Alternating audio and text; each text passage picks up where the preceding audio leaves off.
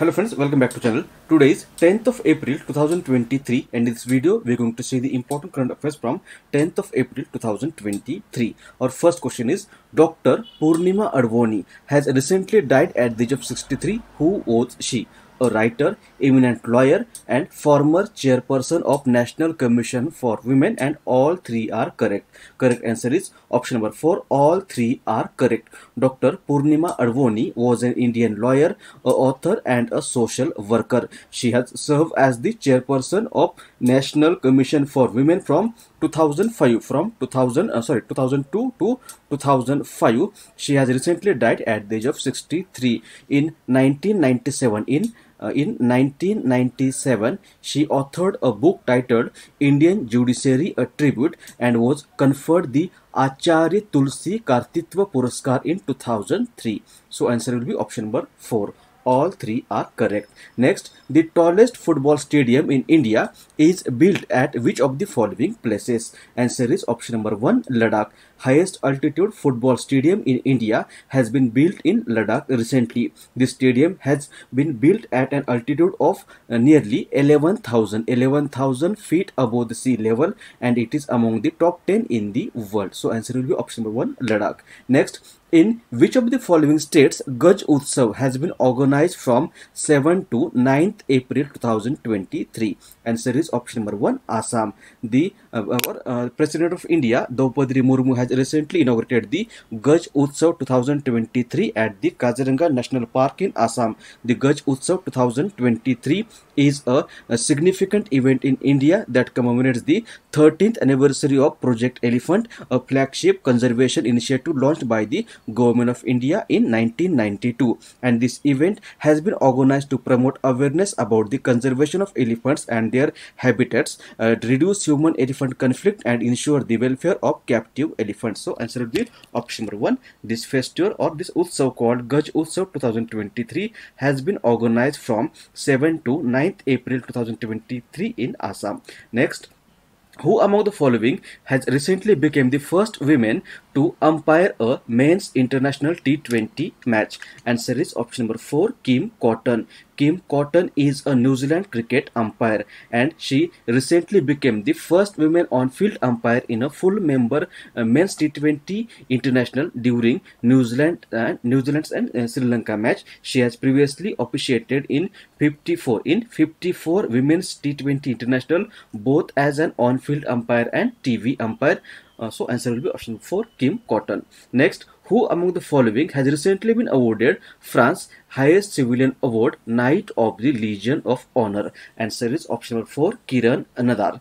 Kiran Shiv Nadar or Kiran Nadar is an Indian art collector and philanthropist. She is the wife of Shiv Nadar, the founder of HCL Technologies and a trustee of the Shiv Nadar Foundation and the founder of the Kiran Nadar Museum of Art. And she has been recently awarded with the France highest civilian award uh, titled Knight of the Legion of Honor for the vital role she has played in advancing uh, Indo-French uh, Indo-French cultural uh, ties and artistic cooperation. So answer will be option number 4 Kiran Nadar. Next question is who among the following has recently taken charge as the president of National Rifle Association of India that is NRAI.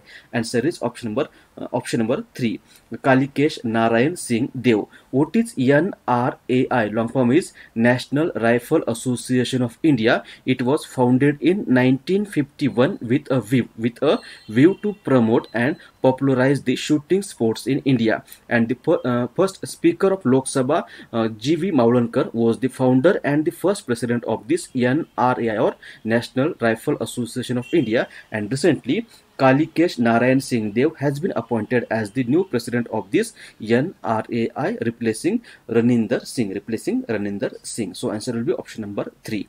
Next, which of the following countries awarded Volodymyr Zelensky with Order of the White Eagle? Answer is option number 2 Poland.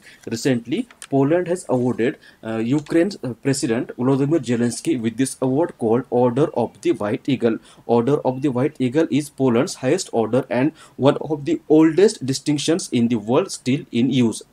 It was officially instituted in, uh, in 1705 And recently, Ukraine's President Volodymyr Zelensky has been awarded with this award for his contributions towards strengthening the relationship between Poland and Ukraine, promoting security and advocating for human rights. Answer will be option number 2. Next question is the second meeting of the G20 Development Working Committee has been held from 6 to 9th April 2023 at which of the following places? Answer is option number 4 Kumar Kumarakom. Kumarakom uh, is the place in uh, Kerala and recently the second meeting of G20 Development Working Group has been organized from 7 to uh, 7 to 9 April 2023 at uh, Kumar Kom in Kerala. Over 150 over 150 delegates and participants from G20 members, nine invitee countries and various international and regional organizations participated participated in this meeting. So answer will be option number 3.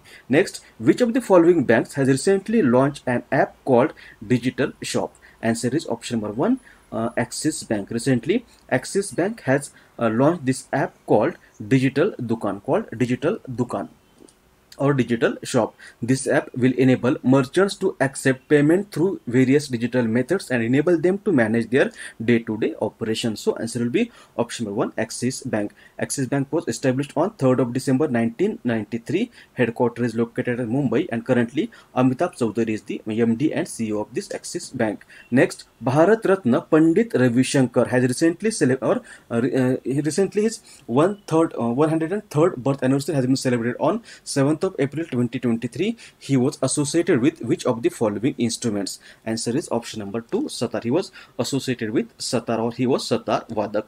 Now, uh, we will quickly revise the questions of our last video. Our first question was in which of the following state is the Cope India military exercise being conducted from 10 to 21st April 2023? Answer is option number 2 West Bengal.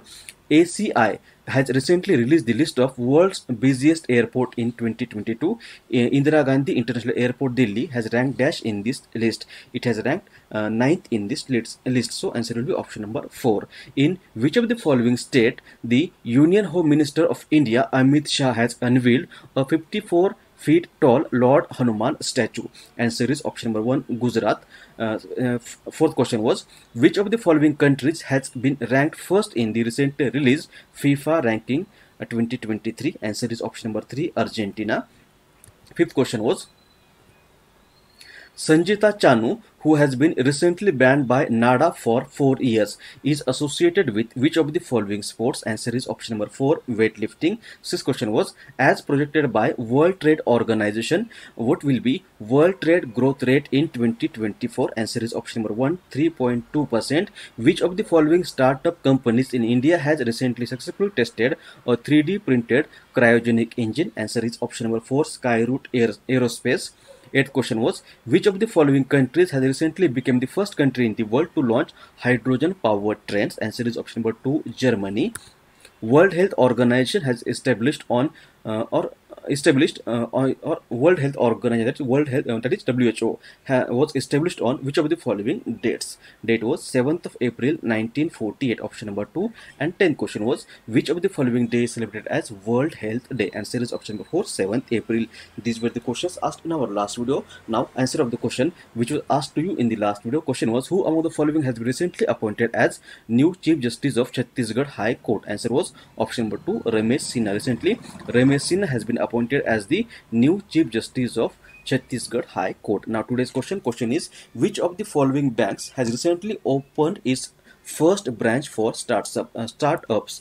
Options are State Bank of India, Bank of Baroda, Punjab National Bank and Bank of Maharashtra. If you know answer of this question, you can write it in the comment section below or we will discuss question in the next video.